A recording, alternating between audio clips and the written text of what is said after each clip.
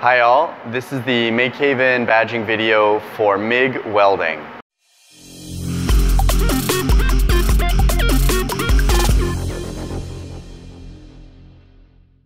This is the welding area uh, at Makehaven. As you can see, there are protective screens around. These screens block out some of the dangerous UV radiation that comes off when you're welding. The UV is the same coming from the sun. It can burn your skin and it can also give you a, like a sunburn on your eyes. Uh, so it's really important to protect yourself, but these shields are protect passers-by. So it's important to let people know in the area that you're gonna be welding so that they aren't looking at it inadvertently, but then these screens are also for protecting their eyes. We're gonna go from top to bottom on, on MIG welding. Uh, however, this is gonna cover safety, uh, how to protect yourself as well as the equipment. This is not gonna make you a master welder. We'll have classes in the future that can go over some of the finer details. So welding is when you're putting two pieces of metal together. And doing so, in general, though not always, by melting the two pieces of metal. There are a lot of different kinds of welding, certainly hundreds, but for our purposes, it's, it's when the two pieces of metal melt. There's like stir welding, doesn't matter. People can argue about that, it's not for now. Um, MIG welding stands for metal inert gas. The metal is pretty obvious.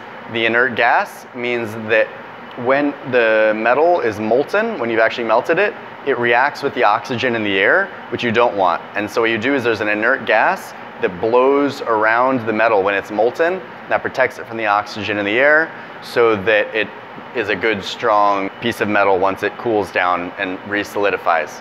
There are a lot of different names for all the different kinds of welding. So another uh, name for MIG that you might hear is GMAW, GMAW, or gas metal arc welding. The gas we covered, the metal we covered. Arc is when you, is a, any kind of welding where it uses electricity to make a really powerful spark effectively between an electrode and your work.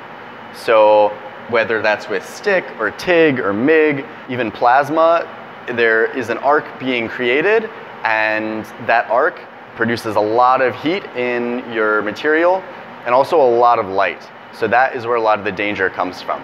Something else is that in a MIG machine, so we can come over here and actually look at the machine, you can also run something called flux core. So flux core is sometimes thought of as totally different than MIG for a few reasons. Um, one is that it doesn't require a tank of gas. So if you're out in a field somewhere dragging this thing around, big pain in the butt versus just carrying this thing. The idea is that this tank of gas provides a shield around the molten metal, which is great. But sometimes you don't want to carry that tank around, so instead you have flux core. Flux, same as when you're soldering, is a chemical that helps to protect from the oxygen when you are welding, when it's molten. So uh, it can also help with, with other properties. So that is where the flux is built in, so it doesn't actually need the additional inert gas. It creates a cloud of gas around the weld on its own. So you can imagine that being pretty helpful. We do have a spool of that here, and we'll touch briefly on how you would use that. Technically, it's not MIG because there's no inert gas, but it, it does use the same machine.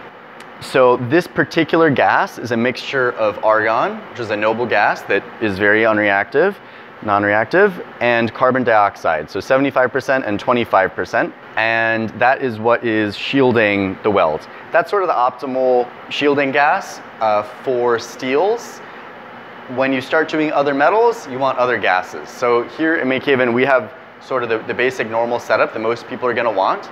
The option is available to you if you want to go out and buy your own gases and your own wire. Speak to a facilitator to make sure everything is safe and and you know, everything is being done in a safe manner.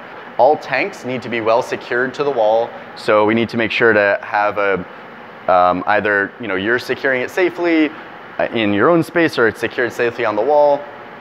Um, so we'll, we'll touch on that briefly as well. In general, like in this basic setup, when you come into Makehaven and when you're doing the badging, the this setup is for welding mild steels. This is an example of that. This is square tube stock that is popular when you're doing legs on a table For example, here, inside this machine, it's doing a few things. One, it's taking the AC electricity from the wall, alternating current, where the electricity is going up, down, up, down, up, down, and converting it to DC, direct current. So that's just one straight line. And that's nice because when you're welding, you don't want the electricity to be bouncing back and forth. That would make your arc jump all over the place. You just want one continuous spark or arc. Um, there are a few exceptions, but not in MIG. MIG is only DC. But then it gets a little more complicated because you can have DC electrode positive or DC electrode negative. In general, you want electrode positive. Uh, sometimes it used, used to be called reverse uh, welding or reverse polarity. DC EP is now what it's most often called. And the idea there is that it's actually the electrons are coming from the material, from your work, and they're then concentrating around that point in the material, heating up, heating up, and then coming into your electrode. Uh, in straight polarity, the electricity is coming from your electrode and then going into a broad area in your work, wherever it can contact. So that creates a less concentrated uh, heat, like the, the, the electricity is going through that metal and creating heat from resistance. Um, so in that orientation, it's not penetrating quite as deeply. So in general, we like DC electrode positive or reverse polarity. You can, however, swap those in there, and again, we'll, we'll touch on that briefly. So in terms of just the anatomy of what's going on here, so we know what we're working with, because that's important, this is fairly dangerous. This is the gas, we covered what uh, this particular gas is. Um, the, the gas is stored at a very high pressure, so it needs to be treated with respect. Uh, it should never be dropped. You can imagine if it were to get dropped and this part gets knocked off, this is just a missile that will launch through walls. These are brass fittings. Brass is relatively soft, so it can squeeze into other fittings and, and make a good snug fit without any Teflon in general. That does also mean you can't crank on these fittings. You'll, you'll strip them out pretty easily. So you just want to get them nice and snug. Uh, this, there are two gauges on here. This one is indicating the pressure in the tank once this is open, once the, the tank has actually been opened. Um, this, if you turn it counter, like left, counterclockwise, it'll loosen it and let the gas out. And this will show you the pressure left. Once you start getting really low, you should stop using it. Um, you know, once that needle is, so the red is PSI, which is what we're going to deal with. Once you're at, you know, 100, you should probably turn it off and post on Slack, tell a facilitator so we can go and replace the tank, get it refilled. Um, so this is indicating pressure in the tank. Pressure is how much force it's pushing here with. This is not reading pressure, this is reading flow. So there's a little steel ball in there, which you can probably see. And as the gas starts flowing, it lifts that ball up. And so this is a flow meter. So this is saying at any given moment how much gas is flowing. Right now the whole thing's off, so no gas is flowing. I marked with a Sharpie right here how, where you want that ball to sit when you're welding. So you want that ball to sit around 25. This is measuring in cubic feet per hour. So you want about 25 cubic feet per hour. That's why where you want that ball to sit. And this knob here controls how much that gas is going to be able to flow.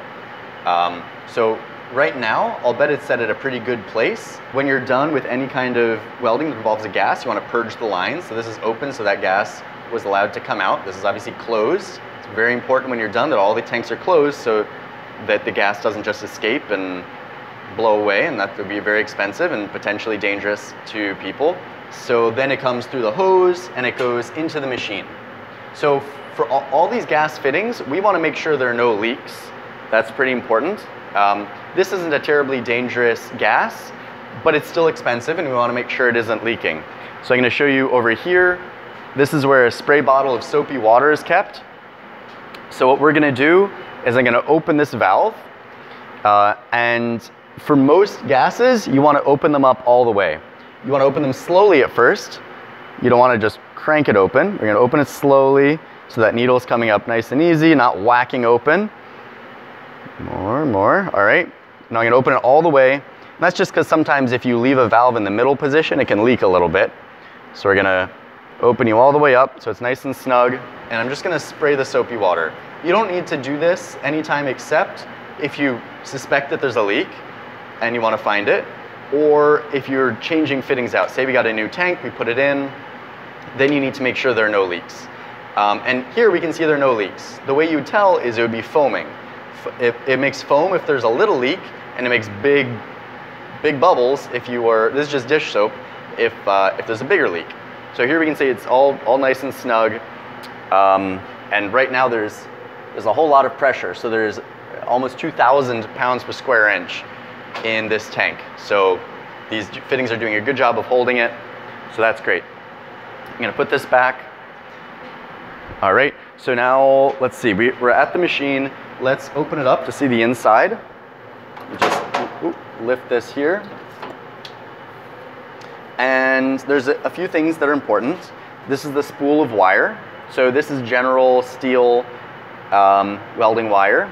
A few important things to notice are that its size is 30 thou or 0.030 inches. And so you just need to make sure that the other pieces in this setup align with that number. And then it goes through this. This is pretty similar to a 3D printer if you're familiar with, with that. It's clamping down on that wire and feeding it. So this machine is actively pulling this spool of metal and squirting it out the end. And it's also giving it electricity. So here you can see these two are determining where the electricity is going. So if you can read this label here, it's saying the DC electrode negative is for flux core wire, polarity switch settings. So you would have no gas and you would have that work clamp going to positive at the top and then the gun, the torch, going to the negative on the bottom.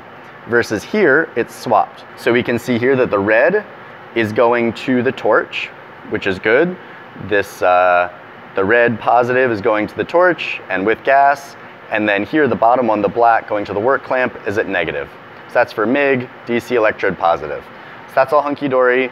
If you were switching over to DC electrode negative for some reason, you need to make sure to swap those and then please put them back when you're done because no one is going to think to check that. There are some instructions here underneath for setting this clamping pressure. Um, for different size wires, you might need to swap this. There are two grooves in this roller, so you need to make sure it's matching the right wire size.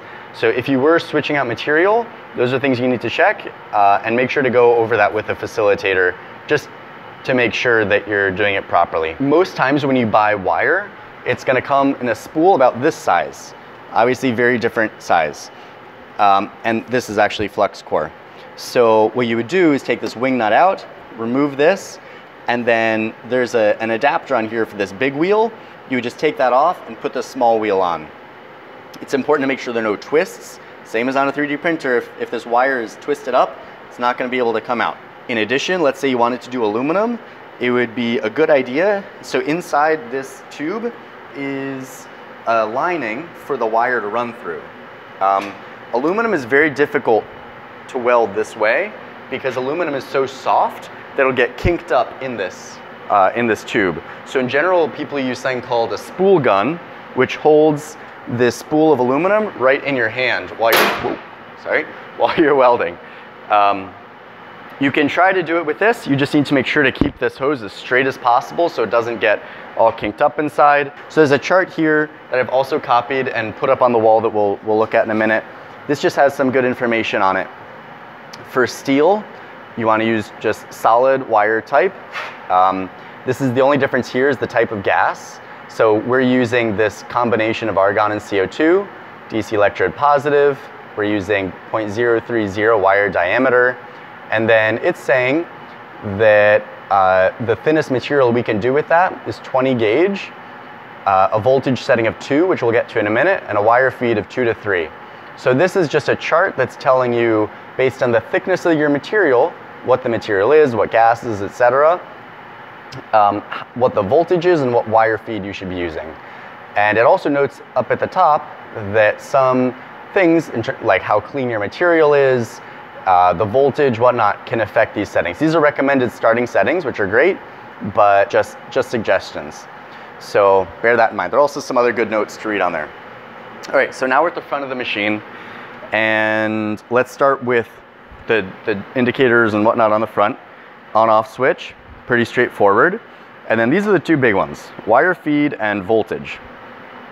So voltage controls how much electricity is getting pumped into your material. Um, right now it's set to four, so that's just as much as possible. Um, this is a MIG 135, which means it's capable of 135 amps of electricity. So volts is how badly the electricity wants to go from one side to the other, and amps is how much electricity is flowing. So this, the chart on the side will show you, you know, the thickest material it could potentially do of different types. This is a relatively small machine, you know, versus like a 300 amp machine. So, you know, you, you can't do crazy thick material. You would have to put a bevel, so you could take two pieces of metal and, and put a bevel on them, and then start at the bottom or the root and work your way up, and that would be how you would do thicker material. So as these, these are two things that you need to balance. The wire feed is how quickly that thing is squirting out the, the metal, the electrodes. The metal is actually what's conducting the electricity and coming out the end. So there's two things coming through this hose, the gas as well, or actually three, the gas, the electricity, and that wire. So those are the settings on the front, and you can use the chart to get a sense of where to start with that, and we'll, we'll cover a bit of more of that as we get there. All right, so now we'll look at these two wires coming out of the front. So this is the, the torch or the gun, sometimes it's called a stinger. Uh, this is just to help focus the gas. So we can take this off to see what's going on on the inside. So the gas comes out of these holes and then gets blown around your material. And then this is a little contact tip. Um, and you just want to make sure it's clean. So right now it's a little sooty on the front. So we'll just try to clean that up a little bit. Um, eventually it might get totally eroded, so there are actually a bunch more. These shelves are organized by the type of welding you're doing. So MIG is right here. These are a whole bunch of contact tips. These are actually 0.035. So these are a little big for what we're doing here. You know, we'll want to get some others that are the appropriate size. And I'm just gonna grab a brush here and just clean that off a little bit. It doesn't really need to be perfect. Then what you could also do is uh, by the oxyacetylene, we have a tip cleaner, so you could clean that out as well, but it looks pretty good to me. Um, it's important you do that so that you have good electrical conductivity. So we're gonna take this, put it back in. If you were feeding a new spool of wire, you would wanna take this out and let the wire come all the way out and then manually feed it to make sure you get right in the hole. I'm gonna tighten that up. Just needs to be snug, nothing crazy. Put this guy on. Okay. And there's also, so this is a pretty spattery process, MIG welding, versus something like TIG, which people consider to be a little finer and less, less dirty. Um, so there's a, a bunch of, of spatter that has gotten up in, inside of here.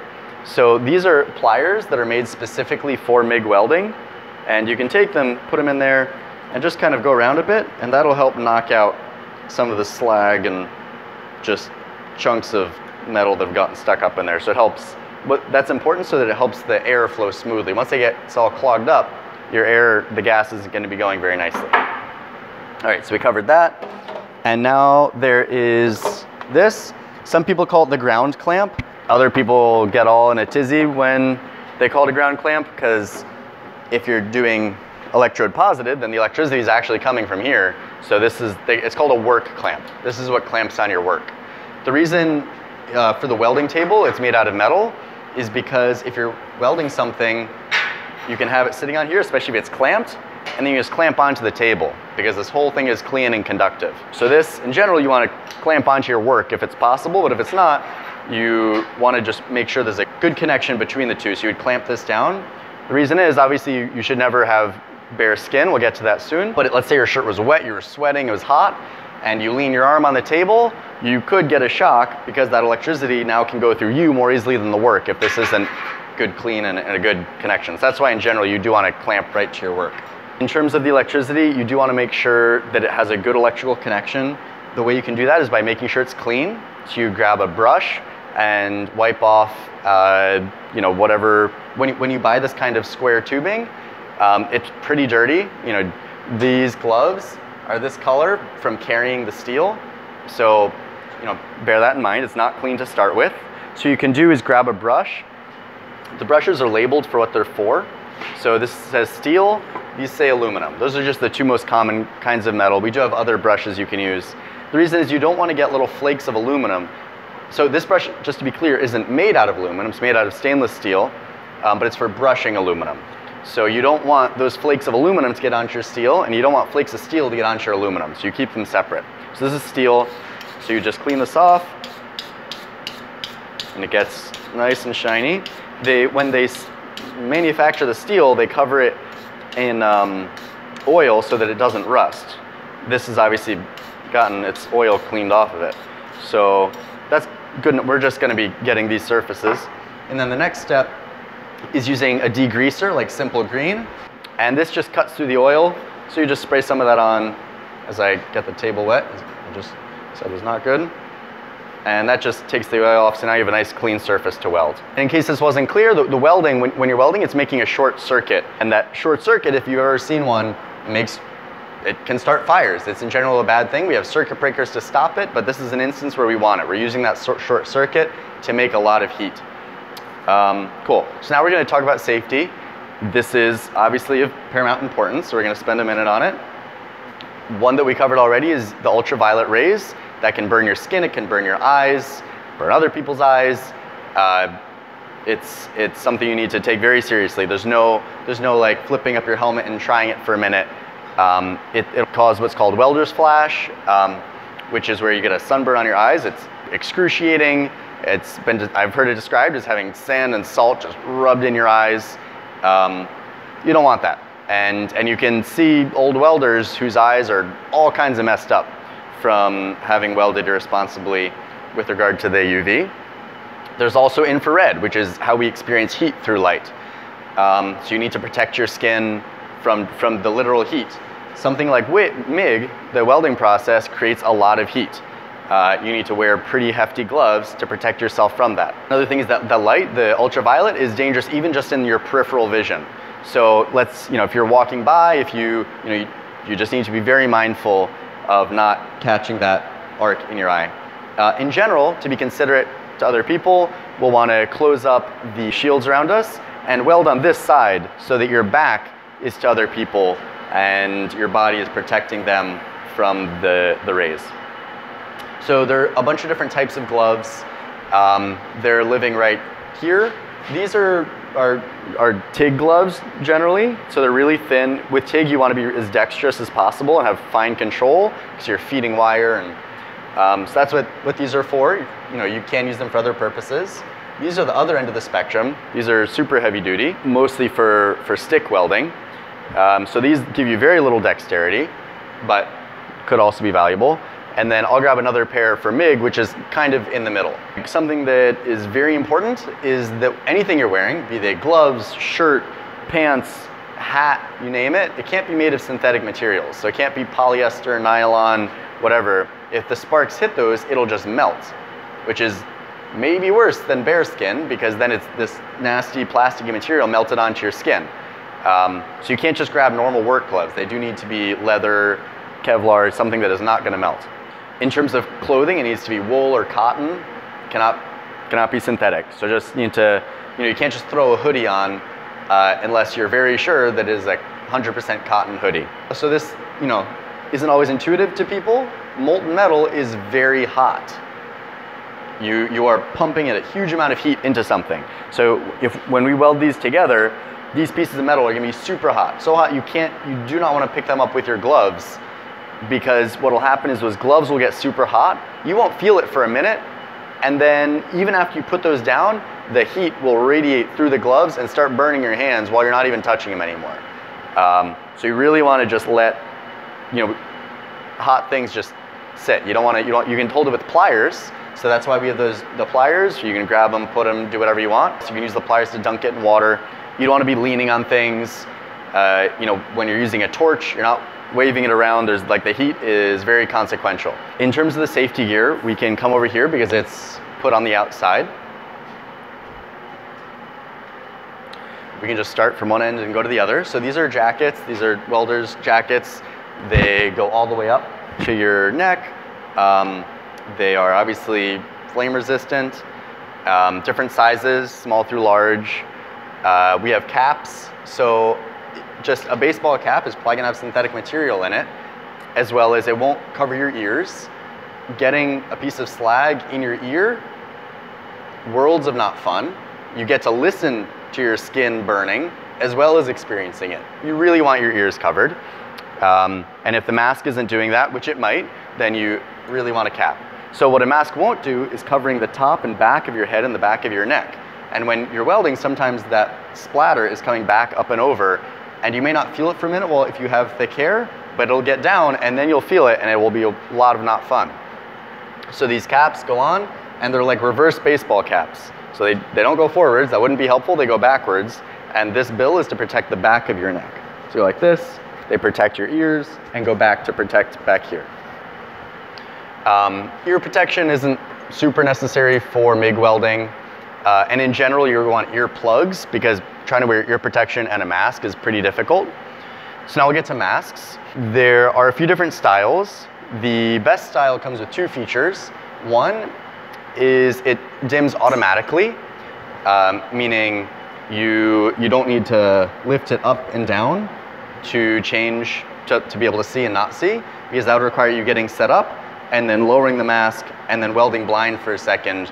Um, what these do is they have a sensor that detects when you've started welding and in a flash of a second they turn the dimming on so that you don't get blinded.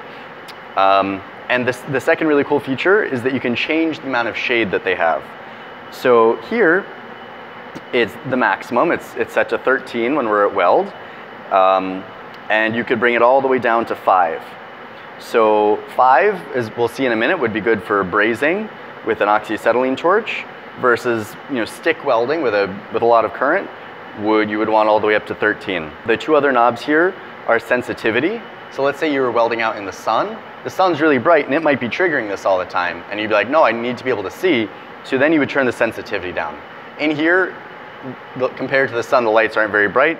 So you just leave the sensitivity at 100 or high. Uh, and then there's delay. So what delay does is after you're done welding, it will keep the dimness on because even that molten metal, once you're done welding, is still very bright. So it'll give you a few seconds to let that cool down before bringing, before letting you see again, effectively. And then there's this little slider. Uh, weld is at one end, cut is in the middle, and what that does is it uses the lower number setting on here, and then grind just turns this into a normal face mask. So you can wear this and be grinding and making lots of sparks and protecting your face without the dimming capability. So that's good. Now we're gonna look at this chart because this is gonna tell us what shade we should use. So we're not stick, we are mild steel MIG with argon. This is mild steel MIG with CO2. So we're somewhere in the middle. These are line up pretty well with each other. And then amps, uh, we'll just consider the worst situation, which is 135, which is the full capacity of our machines right about here. So it's saying 11, 12 is our setting. In general, you just want to protect your eyes as much as possible, but if you're set to 13 and you can't see anything, that's also no good. So you should consider 11 or 12 the minimum, but 13 might be more comfortable. And so that is where you should would go as long as you can still weld well. You want to make sure that all of your skin is covered, your face, neck, uh, make sure you're wearing closed-toed shoes. Again, you really don't want them to be synthetic. If you're wearing sneakers with a mesh on top, the slag could just melt right through that. Uh, so you probably should be wearing something that will not melt. And you really need to be wearing closed-toed shoes, the 100%. You need to make sure that all the flammable, if you have like a roll of paper towels for cleaning the steel, make sure anything flammable is well out of the way. You don't want sparks flying and catching something on fire. Things like pockets and even like in here in the laces of your shoes can get can catch some slag that'll sit there and get hot. And the slag is just the, the melted metal. So now in terms of gases, we have a fume extractor over here. So the fume extractor is just a very localized source of fume extraction. So this whole room already has uh, really good airflow and conveniently it's located right above us. Um, you do want to make sure that when you're welding, this, this should be on whenever there are people in here, but um, just double check to make sure there's air flowing, and then this extracts the smoke directly from the source. Something that people do when they're not really thinking about it is they'll put their face right over the well directly into the flow of the smoke. You don't want to do that. Even with really good collection, you don't want to put yourself where you're breathing it in. So make sure to orient yourself in such a way so that you know this can turn. You can really get it. It's you can get it into most any position that you need. It'll reach clear across the room or this, this little area. The switch for this guy is right up on the wall. So you want to make sure to flip that on before you get started. Um, and then this is just to control the, the amount of airflow. So this is closed, this is open. In general, better just to leave it open.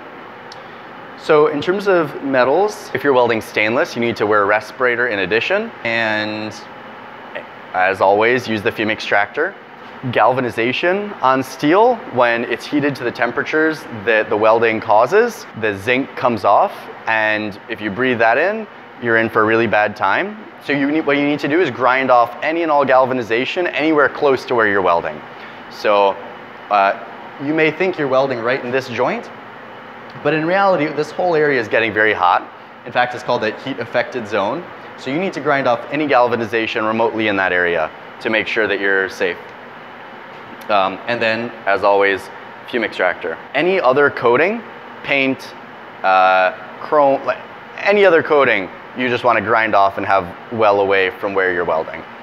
That is the long and short of all the safety, and now we're actually going to get to the welding, which is pretty cool. So I'm going to put on the safety gear. Going to start with a jacket. And uh, in addition to the mask, you keep your safety glasses on, you know, because you're going to flip the mask up when you're trying to look at things, and things can still be spattering. You, you know, don't want to be leaving your eyes unprotected. Pants are made out of cotton, and the shoes are leather, so I think we're good in that department. Then I'm going to put a cap on. These just have a little bit of elastic, so they adapt to different head sizes. And gonna tuck the bill down into the collar of the shirt, grabbing a mask. So we set 11 or 12. I'm just gonna set it to 13. There's no reason not to. Delay I'm gonna put in the middle and sensitivity all the way up, making sure it's set to weld. On these, there are a bunch of different things you can, sorry, things you can change. I'm just gonna try having it at the normal settings. This is just to tighten the head strap. So I'm gonna put it over my head and then tighten it in the back. It's nice and snug. And then what you can do is raise it all the way up and tighten these guys on the side so that it doesn't fall down. And then it'll, so it clicks up when this is nice and snug. So now it's up and then it can come down. Um, and last, I'm gonna grab some gloves from over here. We'll get more MIG specific welding for now, uh, gloves. For now, I'm gonna use TIG gloves, which are fine. I'm just gonna be very careful not to touch the work. I, I just grabbed another piece just because fitting up these two little guys was not just convenient. So I cleaned this one already. So I'm just gonna clean a spot on here. So again, just grabbing a steel or a brush labeled for steel, cleaning some schmutz off of it. Don't want to schmutzy weld and getting the grease off. Some people would say you want to degrease it first and then brush it because when you're brushing, you're just grinding the grease right into the metal. We're not building buildings here. It's called fit up is how good of a job you do getting them really close together. So here they're, they're pretty good. If you wanted it to be a really good weld, you could weld, uh, you could grind a bevel on this first. So you go over to the belt grinder and grind a, an angle on that. So your weld would sit really deep. Um, the penetration on this isn't incredible, so it's not going to blast its way all the way down there. So if you want that, you need to grind that down. Conveniently for this weld, we have access to a lot of that surface. Something to note is that in general, you want to tack weld first. So a tack weld is just a little, just a little drop of weld holding it together. Um, and then that lets you, you can still kind of bend it a little bit and work it so that you can get it just exactly right and then go all the way around. It can be tempting to fill just every possible line of, of connection with weld. That doesn't necessarily make it that much stronger and it just takes a while, uses a lot of gas, uses a lot of metal and time. So uh, in general, you know, every, say if you're doing, like I was putting this table together, like every foot you want uh, maybe an inch or two of weld. It doesn't, it doesn't need to be continuous all the way around. Um, you can see here the heat affected zone from welding underneath from that that weld. the current was probably a little higher than it needed to be there. Uh, okay, so clean this guy. Doesn't look like you got that edge. I'm gonna clean this. And then we're gonna go through the steps. So we're gonna have this here. Um, I'm gonna use a magnet to hold them together. Gonna clean some of the iron filings off of that guy. And these magnets just clink it right into place. They are really skookum. All right. All right. So, I mean, these, these magnets are really kicking, so it's kind of tricky to get it all lined up, but that looks pretty good. Um, all right. And now I'm just gonna clamp our work clamp right to the piece. So we have really good electrical connection. Um, that should be good. And if you wanted extra clamping power, you could take this guy, stick it here just so it extra doesn't move. This is a pretty serious clamp. We also have a lot of vice grips up on the wall by the entrance to the metal shop. So you could use those if you wanted uh, to clamp things down. Excuse me. All right, so now we're not going nowhere. Um, we have a really good fit up and we're clean and we're brushed. Looking pretty good. You can get the flammable things further away. Okie dokie. So we're gonna come over here and set up our settings. So gas is already on. Um, the flow is at zero. The reason that is, is because it's not letting gas through right now. So when you pull the trigger on the torch, two things happen. Um, three things happen, excuse me. So it lets gas start flowing. There's a, uh, a valve that gets turned on. Two, the electricity turns on. And three, that wire starts spooling out. So what we need to do when we're making sure the gas is at a good setting is turn this guy on and then watch here as we pull the trigger. And we're sitting right at 20. So we want a little more flow than that. Turn that up. There we go. We're sitting right at about 25 now. We've got this big long stick of wire. Um, so I'm gonna put gloves on. I'm, I'm, not pulling the trigger right now, obviously, but uh, still don't want to shock yourself, even though the electricity is coming from the plant. So we're gonna grab these guys. So one of the many functionalities of these is they have snips in them. And if you have the snips on the far side, so right now they're on my, my right, on the far side from the camera, and you put it right up against here, it sets the proper stick out, which is about a centimeter. So now it's coming out the right length. Uh, you want to do that pretty much every time you start a weld. So what happens is as you start welding, it leaves a little ball right at the tip. Um, and that may, is a bad way to start your weld because the electricity is kind of shooting out in every which direction. So every time you start, you just want to clip off the end.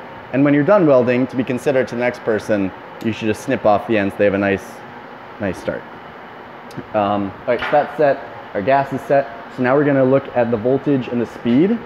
So we're doing eighth inch steel. So steel, check. CO2 argon, check. 0.03, check. And we're doing eighth inch, which is 0.125 eighth inch, boom. So it says we want a voltage of four and a speed of five to six. Cool. Um, the speed and the voltage come up together. As you have more electricity, it's gonna melt that wire faster, so you need it to come out faster.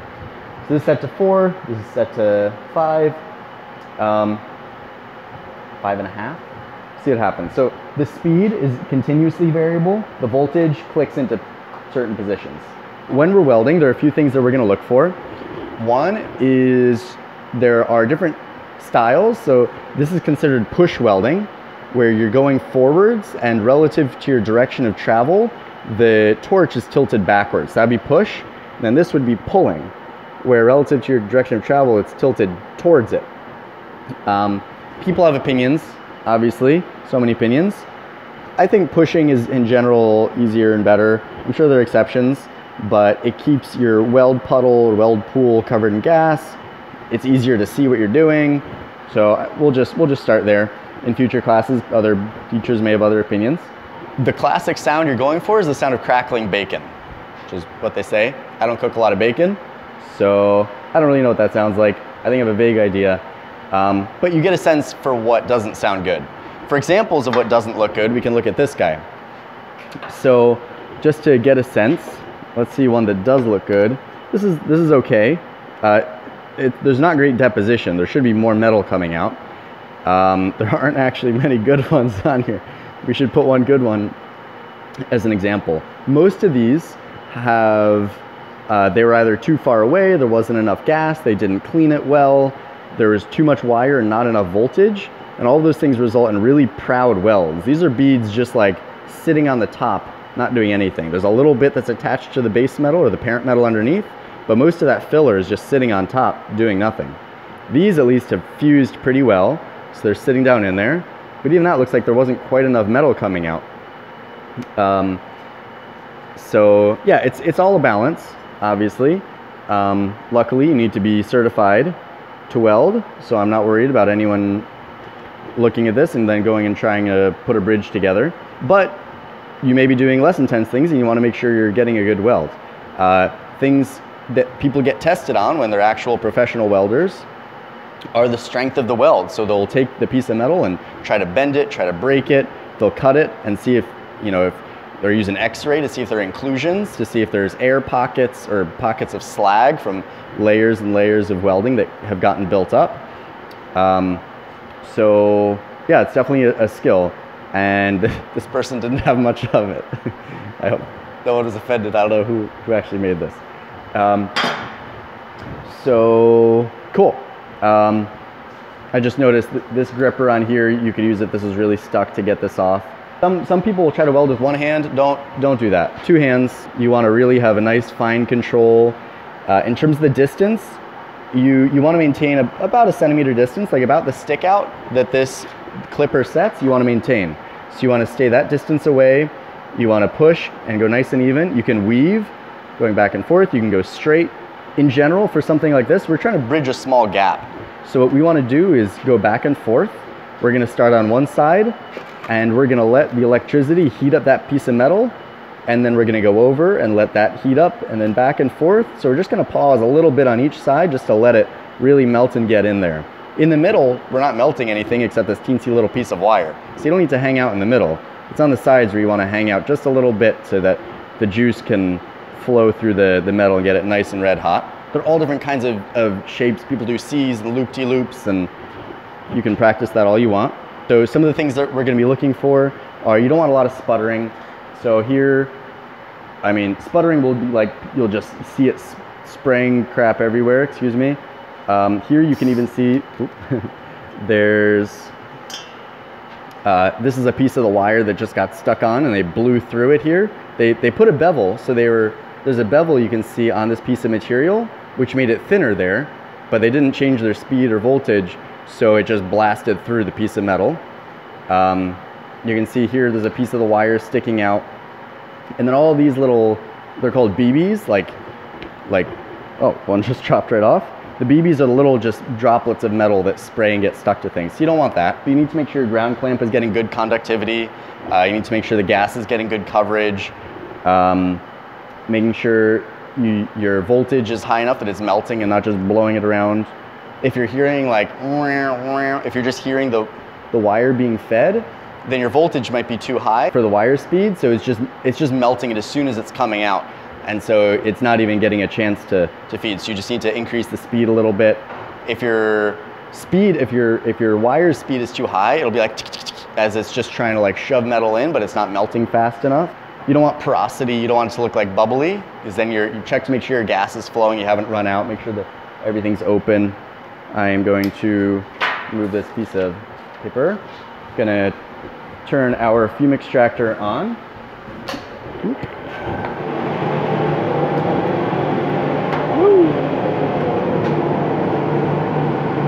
All right.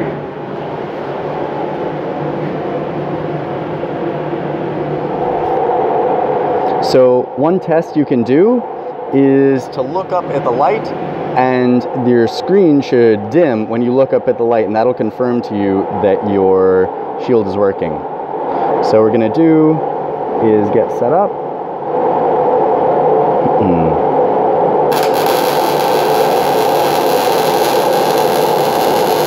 and it sounds pretty good.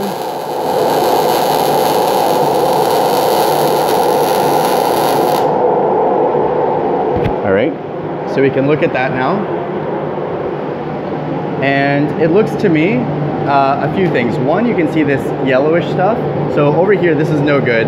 This, this is porosity, holes, whatnot. So you should probably grind that back and, and redo it.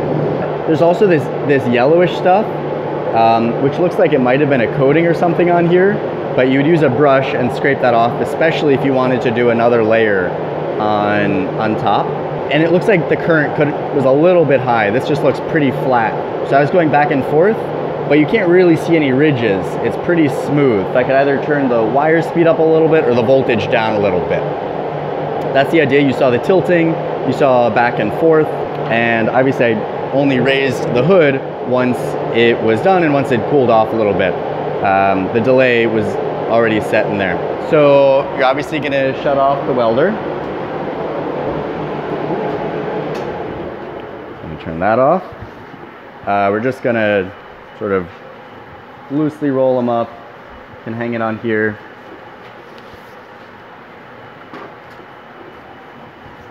Okay. Come on.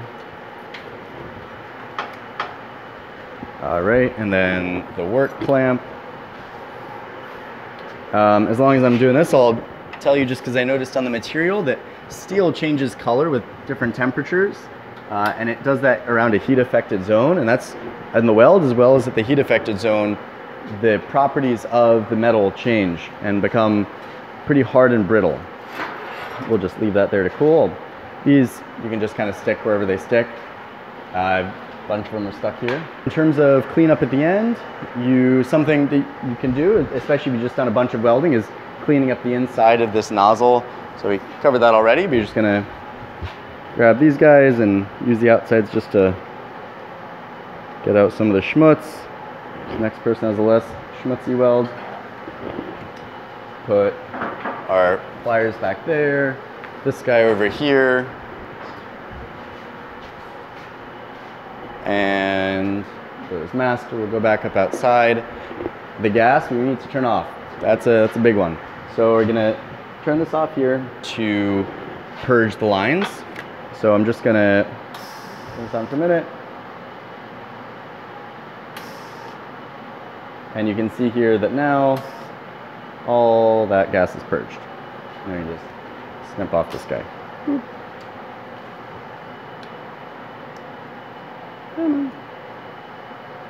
All right, so our tank is closed, the line is purged, and that's that's really a good habit to get into for so that when you're doing oxyacetylene welding, your oxygen and acetylene lines are purged. And that's where it really matters. Fun fact, about 10 feet of oxyacetylene line, if they were to combine, would produce an equivalent energy as half a stick of dynamite. So those you really want to purge. We're just gonna obviously clean up the scraps, the little bits of wire we clipped off, um, and that's how you MIG weld. Thanks for watching.